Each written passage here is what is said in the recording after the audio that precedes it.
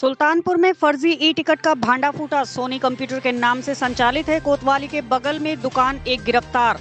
कई जाली टिकट बरामद। विशेष ट्रेनों के लिए कर रहा था रिजर्वेशन और मजबूर ग्राहकों से वसूल रहा था मोटी रकम। फर्जी टिकटों के मामले में खुल सकता है बहुत बड़ा जालसाज का खुलासा। ज़िले में रेलवे के ई टिकटिंग का भंडाफोड़ हुआ है। शहर के एक साइबर कैफ़े का मालिक गिरफ़्तार किया गया, जिससे जाली टिकट भी बरामद हुए हैं। बताया जाता है की जब से विशेष ट्रेनों में रिजर्वेशन की ऑनलाइन घोषणा हुई, तभी से फर्जीवाड़ा करने वाले सक्रिय हो गए थे। रेलवे की ऑफिशियल वेबसाइट से पहले ही इन जालसाजों ने रिज़र्व टिकट तुरंत निकाल देने का झांसा देने लगे। भीड़ इतनी चल रही है कि लोग इनके संपर्क में गए। ई टिकटिंग के नाम पर वसूली। धोखाधड़ी के मामले की भनक लगी तो पुलिस ने कोतवाली नगर के गल्ला मंडी स्थित सोनी कंप्यूटर व साइबर सेंटर में छापा मारा। वहाँ से संचालक अनिल सोनी को ई टिकट बनाते पकड़ लिया गया। आरपीएफ ने उसके पास से ई टिकटिंग के साथ नकदी भी बरामद। अनिल सोनी बस स्टेशन के निकट एसबीआई बैंक के बगल वाली गली का रहने वाला है। आरोपी के खिलाफ धारा 143 रेलवे एक्ट के तहत मुकदमा दर्ज कर लिया गया है। पुलिस का कहना है कि उसके पास मिले ई टिकट फर्जी हैं व बरामद पैसे असली टिकट के लिए वसूले गए हैं। इस धरपकड़ में दरोगा नीलेश सिंह, राकेश व अन्य आरपीएफ के जवान शामिल रहे।